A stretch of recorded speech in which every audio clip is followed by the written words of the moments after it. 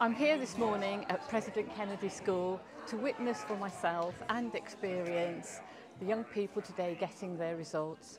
As I've been walking in into the school grounds, I've already been chatting to parents and the young people and I can ask, I've come into reception, I can feel not only the nervousness but the excitement. It's deathly silent in there, but actually talking to parents and, and uh, the young people, they're, they're really excited. And it's their first step on the journey uh, of whatever they decide to do.